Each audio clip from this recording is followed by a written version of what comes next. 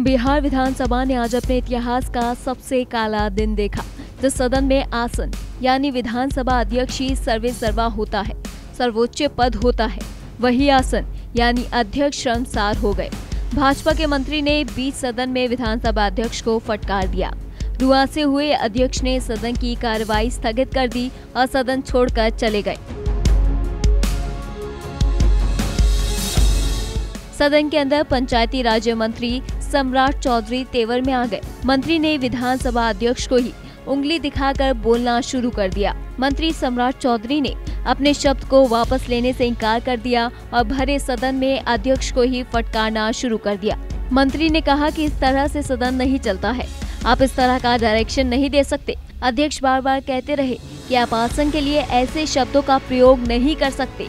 लेकिन मंत्री सम्राट चौधरी अध्यक्ष से उसी लहजे में बात करते रहे। विपक्ष की माने तो ये गलत है।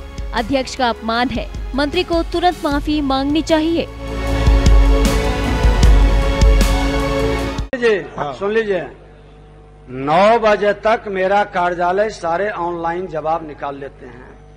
और सोलह में मात्र ग्यारह सिक्सटी नाइन परसेंट हाँ, जवाब ही मैं- आपका आया है। तो ग्यारह जवाब आप आप कार्यालय में तो अपने विभाग में थोड़ा हाँ, ठीक समीक्षा कर लीजिएगा। बहुत व्याकुल नहीं होना है।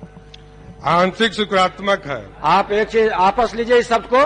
माननीय मंत्री जी आपस लीजिए नहीं आप अध्यक्ष आपस जी लीजिए इस सबको। अध्यक्ष जी ऐसे नहीं चलता। है आप आपस लीजिए। अध्यक्ष जी नहीं होता। है अध्यक्ष जी इस तरह का डायरेक्शन नहीं होना ये आसन को नहीं कर सकते नहीं, हैं। आप इस तरह डायरेक्शन आसन को ये नहीं कर नहीं सकते चल सकता है।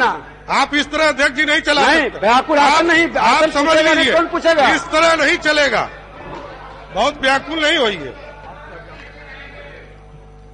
सदन स्थगित की जाती है।